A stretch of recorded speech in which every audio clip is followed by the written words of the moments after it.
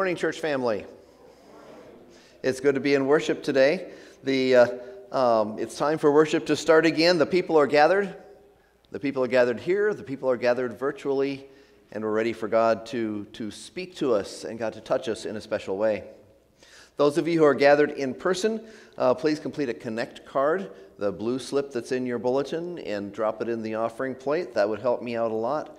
Uh, there's also, don't forget your name tags, and there are large print bulletins in back if anybody would like a large print bulletin that has the lyrics, the song lyrics, and everything in it. And there are hearing aid assistance uh, or hearing assistance devices also if anybody needs that. If you're online, welcome.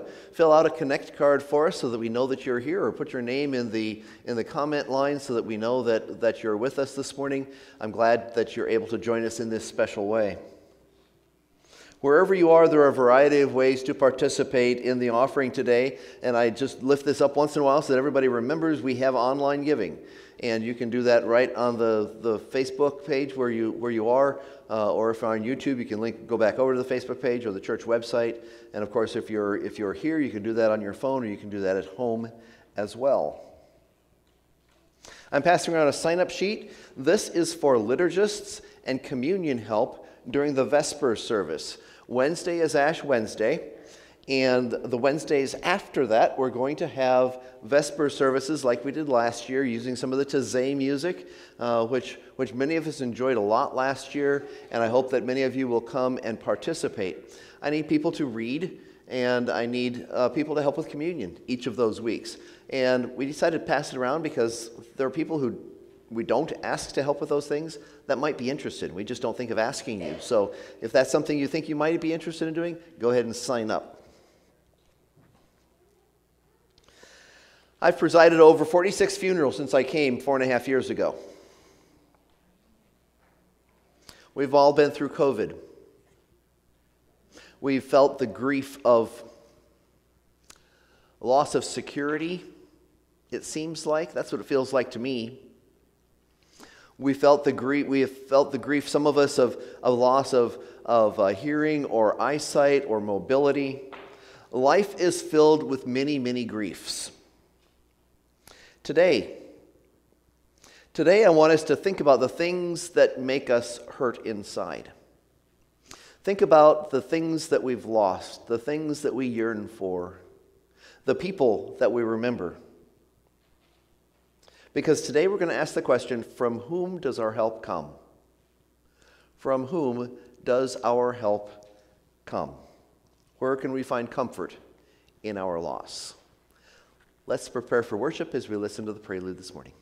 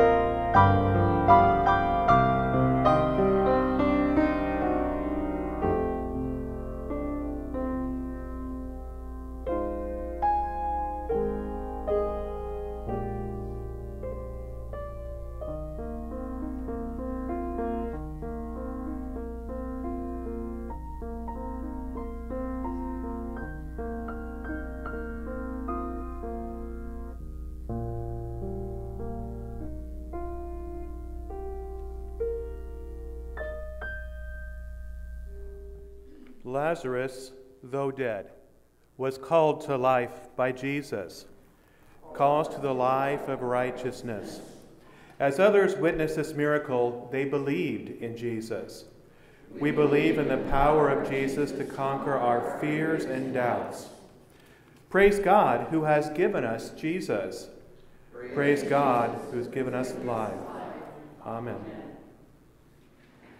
This is a time when we can share our joys and our concerns with one another. What do you, what joys or concerns do you have this morning that you'd like to share? Uh, Valerie called last night, and, and Mike had some sort of episode yesterday and was in the ER yesterday evening, uh, but he, they were getting ready to send him back home. So we want to lift him up in prayers and whatever is happening with, with his health. Valerie, of course, has been kind of down with her with her hip lately, so uh, she needs prayers as well, and the family of those families of those who were killed in the accident last night near Jefferson.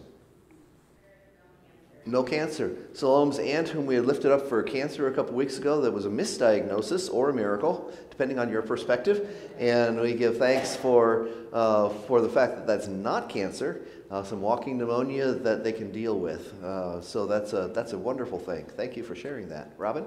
Okay. Les, uh, my brother in law Les, who uh, had the double lung transplant uh, six weeks ago or something like that, is home. Believe it or not, what a miracle that is. And uh, uh, just watching them go through this process has been absolutely amazing. Uh, the, uh, the, the, the whole procedure, uh, the fact they can do it is just amazing. So they are home and happy to be home, uh, glad to be able to eat their own cooking again, and they'll be making regular trips back to Iowa City for checkups. We want to remember all of those who suffer domestic violence in our, in our community around, around the world. Uh, but uh, some special ones that, that Barb knows about in our community, we want to lift them up, and those who care for them, those who are looking for safe housing, those who are providing support and counseling. Uh, that's an important service in our community. Okay, Les is a good, a good candidate for the radiation uh, treatment that they're that they're looking at, a specialized thing. So uh, we're grateful for for the we're grateful for the miracles of medicine, and how God works through our doctors and nurses, and uh, Les will have an opportunity to do that uh, soon. It sounds like in the next couple weeks they'll have something scheduled and get him going. This would be Deb Davis's sister, then, right? Okay, I knew the name was familiar. It took me a minute to to get it put together. Uh, so Eileen Wirtz daughter had a heart, severe heart attack, right? Okay. Uh, so we want to uh, lift up uh, Eileen and her daughter in prayer. Uh, Deb Davis was a member of the, of the congregation here. We buried her several years ago. Uh, that's, our, that's my connection to her. Let's see. Kathy Richardson is in, is in uh, Mayo Clinic. We're doing therapy after some, some surgery on her, on her neck and everything, so we're going to lift her up in prayer. And I think you covered everyone else that was on my list. If there's nothing else, let us pray. Creator God, Lord of love, we come before you to give our thanks and praise. We believe that you care for each one of us, so we bring our gratitude and our concerns to you today. While we feel intensely our own needs, our own hurts, our own worries. We ask that you open our eyes to the needs of others, for whom you would have us be your hands and your heart in this world. We pray for those among us who have broken bodies, people who are suffering from the loss of a loved one. People who struggle daily with mental illness, children who find school to be very difficult, neighbors who are lonely, wondering if anyone cares.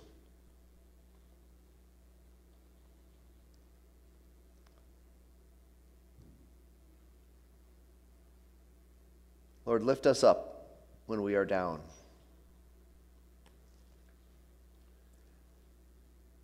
Give us strength to stand when we are weak. Encourage us to take a step forward even on wobbly legs. Trusting in you and your power and your promise to answer our prayers. On this President's Day weekend, when we as a nation honor two of our greatest presidents, we pray for wisdom for our leaders. We pray for truth telling. We pray for moral courage.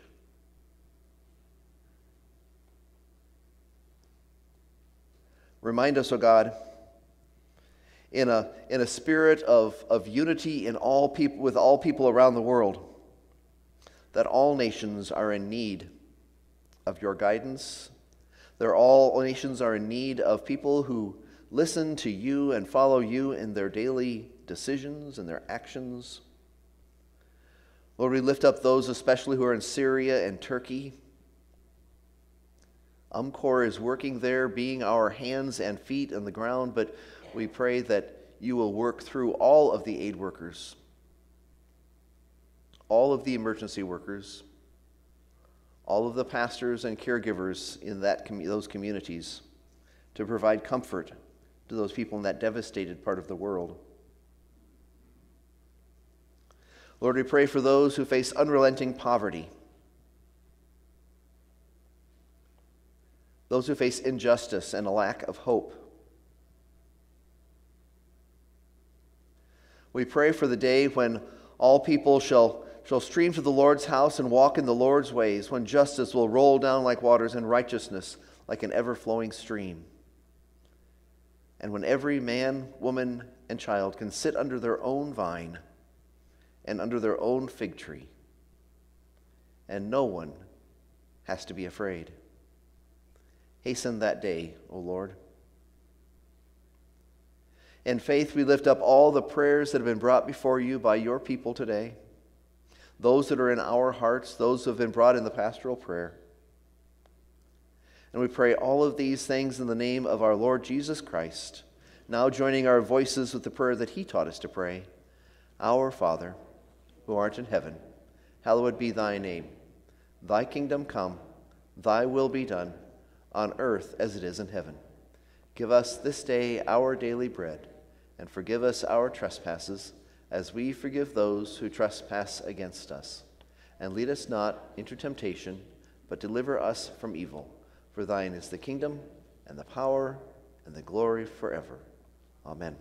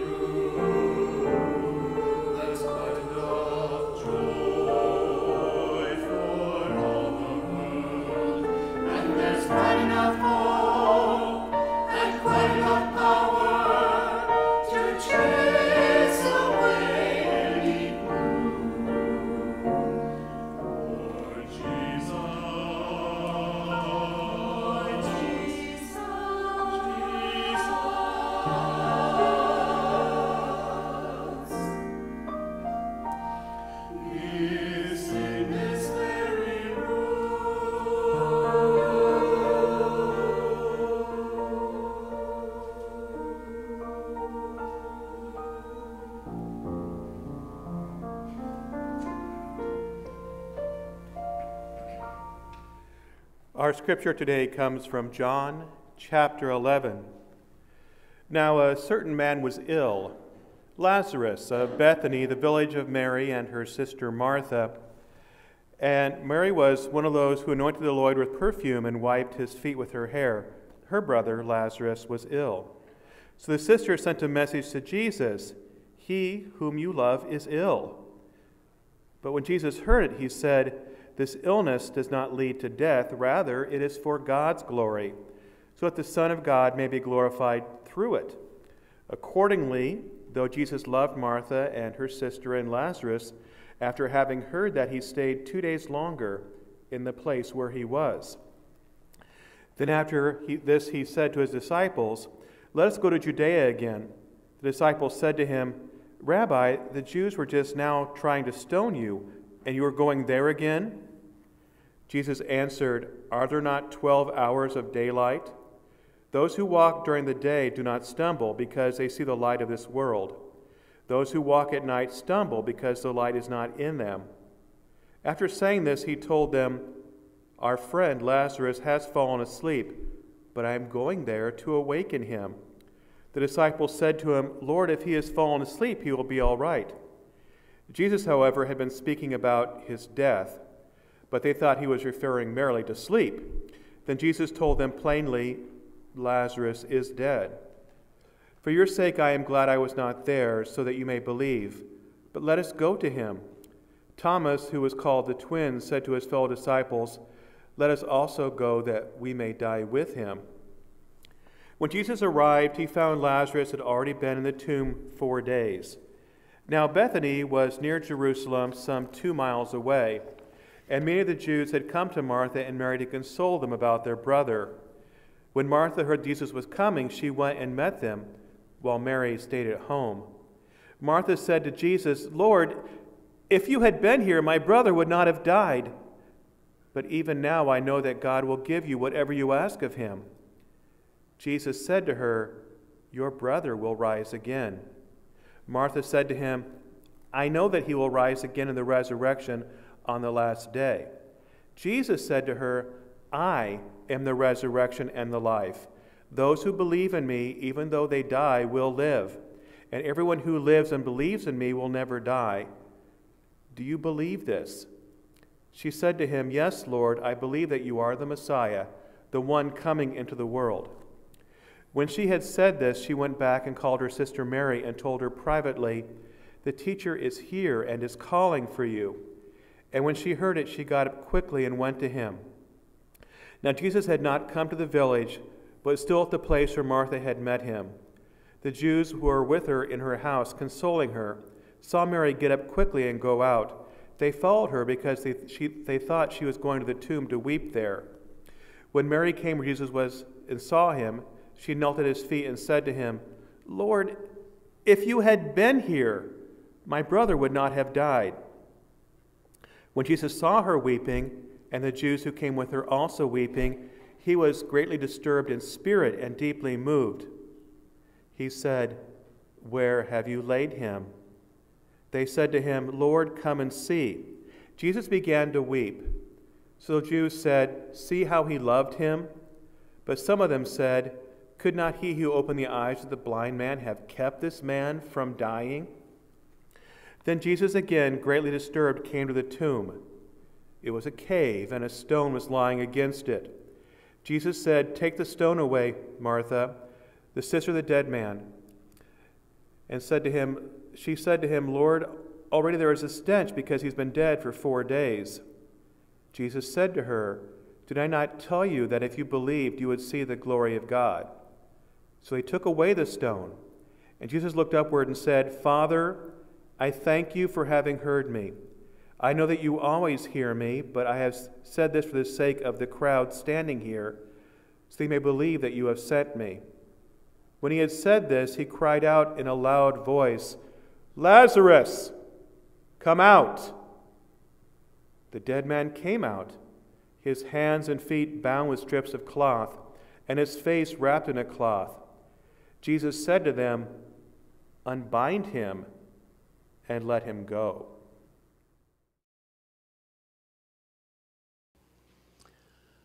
Grief is a young widow trying to raise teenagers alone. Grief is the man so filled with shocked uncertainty and confusion that he strikes out at whoever happens to be nearby. Grief is a mother walking every day to the cemetery to stand for just a few minutes alone at her child's grave, knowing that part of her remains there in the cemetery even as she goes about the rest of her day. Grief is the silent, knife like terror and then sadness that comes a hundred times a day when you start to speak to someone who's no longer there. Grief is the emptiness that comes when you eat alone after eating with someone for many years. Grief is teaching yourself to go to bed without saying good night to someone beside you. Grief is the helpless wishing that things were different when you know that they are not and cannot be again. Grief is a whole cluster of adjustments and apprehensions and uncertainties that consume us and make it difficult for us to redirect our energies to the rest of our lives. In today's story, grief is the two sisters sending word to Jesus that their brother is ill, hoping he can prevent his death. Grief is the, the dark, hopeless anger they felt when Lazarus died before Jesus arrived. Grief is Martha running down the road to meet Jesus and scold him. Now you show up after it's too late. What's wrong with you? It's all your fault. If you had been here, my brother would not have died. Grief is two women hoping beyond hope that Jesus can do something, anything, to make life better, even after four days. Grief is two fairly young women whose parents are likely dead whose brother has now died, who apparently are not married, have no means of financial support, and their fear for what tomorrow might bring. Grief is, is Jesus, the resurrection and the life, the King of the universe, the Almighty God in the flesh, the Alpha and the Omega, the one who holds the keys to hell and death. Grief is that very same Jesus weeping over the death of a friend.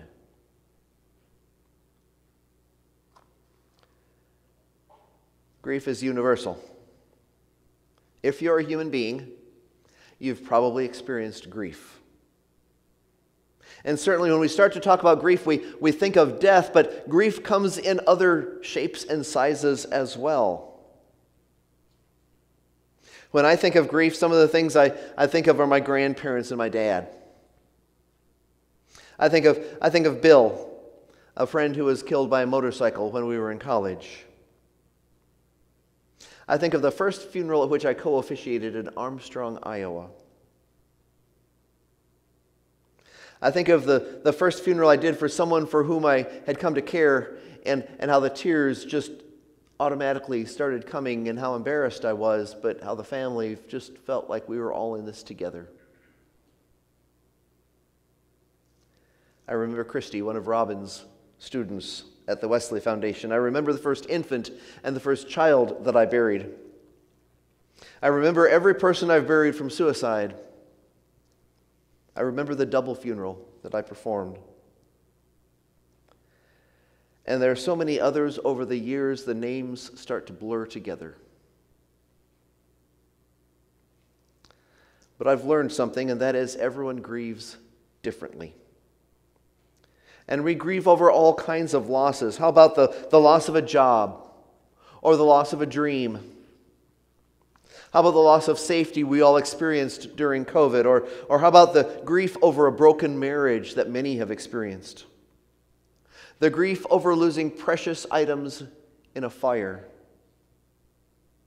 The grief that parents of children with disabilities experience every time they realize their child won't be able to do something that other children usually do.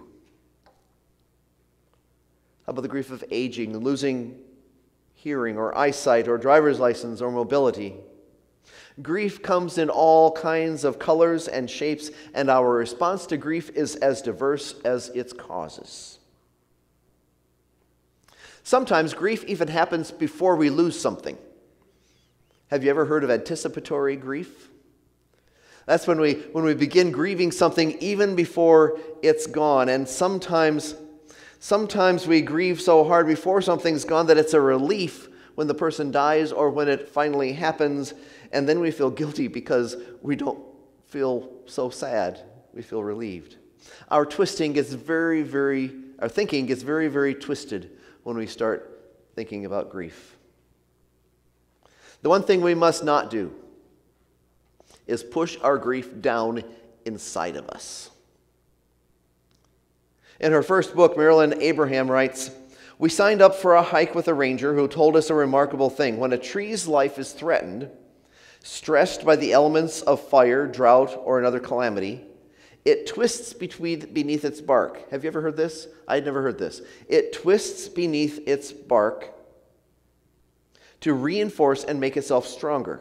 On the surface, this new inner strength may not be visible, for the bark often continues to give a straight vertical appearance. Only when the exterior is stripped away or when the tree is felled are its inner struggles revealed. That works for trees not for people. We cannot allow ourselves to bury our grief and become so twisted inside that we cannot go further. There's no denial of grief in the story we read from the Bible today. The 11th chapter of John faces grief head on, and we see Jesus coming to comfort and be with some folks who are grieving, some very close friends. So we're going to explore that story today. And we're going to see how God might speak to us in our grief. The raising of Lazarus is, is kind of the culmination of John's gospel. It's at least the culmination of the, of the miracles in John's gospel. Jesus literally walked toward death, toward Lazarus' death, and toward his own death, because this is when he starts moving toward Jerusalem. Remember, he's only two miles away now? He starts moving toward Jerusalem, where he will be convicted and killed. When Jesus arrived in Bethany, he entered a scene of people grieving and people who had experienced loss. And in those days, families hired mourners to, to wail with them. Uh, it was expected that even the poorest family would hire two mourners who would wail along with them to, to outwardly show their grief of their loss. So that's what he's hearing as he walks up to Bethany. And Martha went out to meet Jesus. She's, Mary stayed home mourning. But Martha comes to Jesus and said, Lord, if you had been here, if you had been here, my brother would not have died.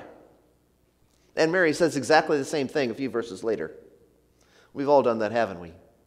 If you had been here, if I'd made a different decision, if they'd gone to the doctor beforehand, if, if, if, if only.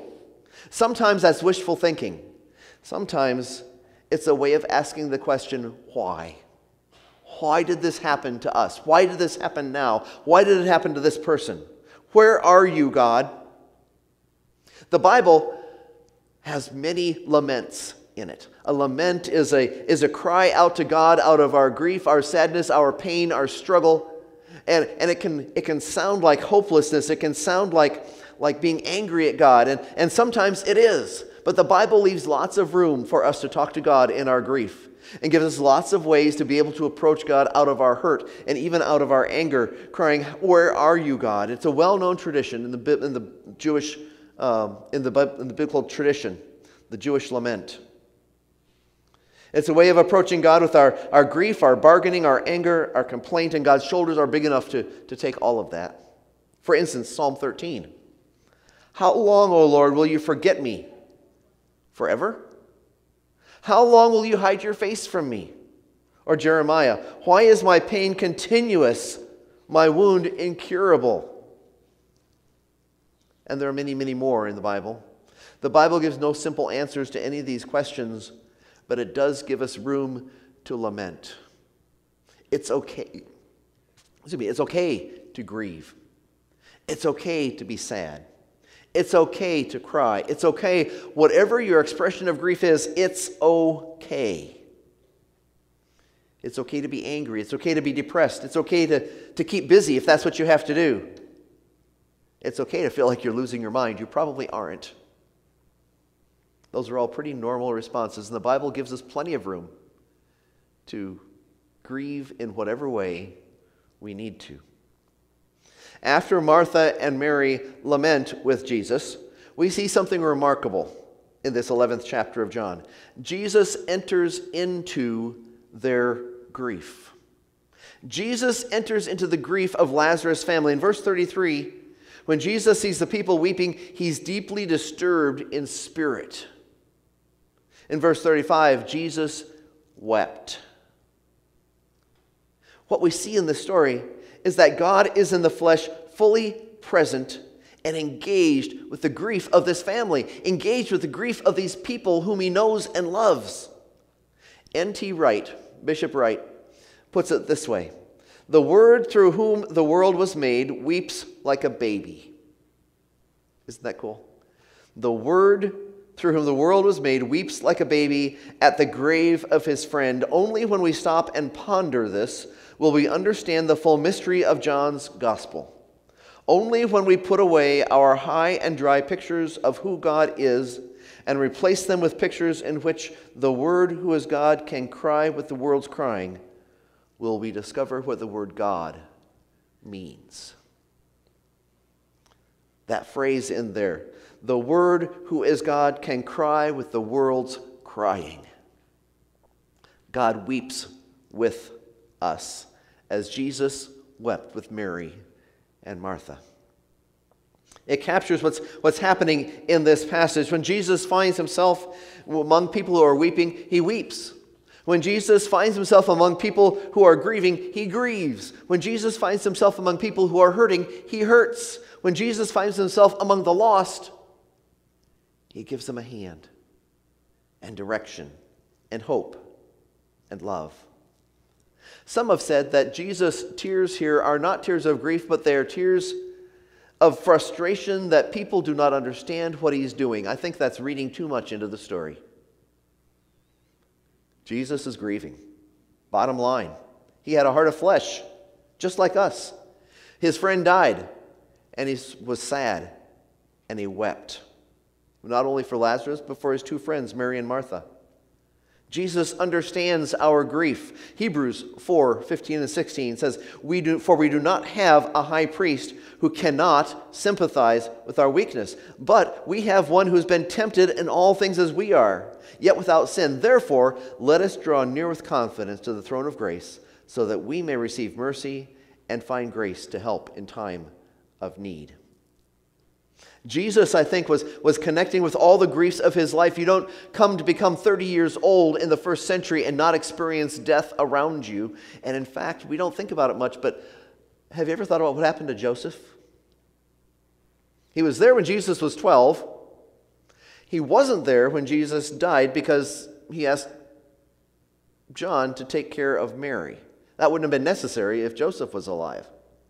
Sometime between the age of 12 and 30, Jesus' earthly father died. And I think that's that grief. We, we grieve all of our other griefs, all of our other griefs each time we grieve.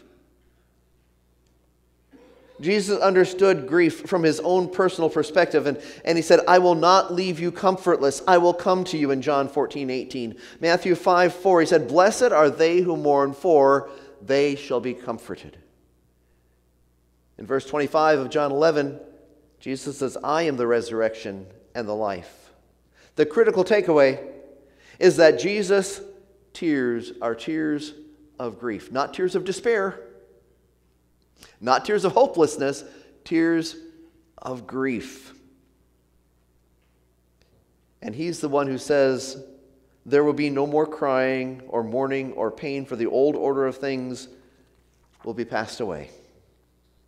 Despite all of that, his grief and his loss are real, and he understands where we are. But he doesn't stop there. Third, Jesus prepares for action. John Calvin wrote Christ does not come to the tomb as an idle spectator, but like a wrestler prepared for the contest. Jesus rolls up his sleeves and he goes to the tomb. And after, after he prays, he asks for the, for the stone to be removed, much to the protest of Martha, of course. And then with three words, with three words, he changes the world Lazarus, come out. Remember, back in verse 4, Jesus said this illness is not, does not lead to death. That's because he knows that, that there's no power greater than his power of life. Jesus knows that raising Lazarus will clearly illustrate God's glory that day. In this story, Jesus entered in the pain of and anguish of Mary and Martha and stepped up to say, Lazarus, come out. And I think when he told Mary, I'm the resurrection and the life, I think he was telling Mary, Mary, come out of your grief. The cross is where Jesus entered the grief and the suffering of the world. Come out of your fear of death. He experienced the death of abandonment. Come out, for you are not alone. He saw the gaping yaw of hopelessness. Come out, for all is not lost. He experienced the prospect of letting go of everything and everyone he knew. Come out because I have something better for you. Whatever kind of grief you're experiencing, Jesus says, Come out. Come out. Come out of your shame and grief over being fired. Come out of feeling sorry for what you will miss. Come out of the emptiness of lost dreams. Come out of the fear of the loss of safety. Come out of your grief your, of your loss, of your friends. Come out of your grief. Come out of your grief over your stuff. Come out over your come out of your grief over secrets that you can't tell. Come out of your lonely grief after a broken marriage. Notice, not get out. Come out. It's an invitation. Come on out. Jesus says. Come out of your grief and your loss and your darkness. Come out of the, of the darkness into Jesus' light. Come out of your sadness into gladness. Come out of your, your grief to Jesus who suffers our pain and knows our grief. Come out. Come out.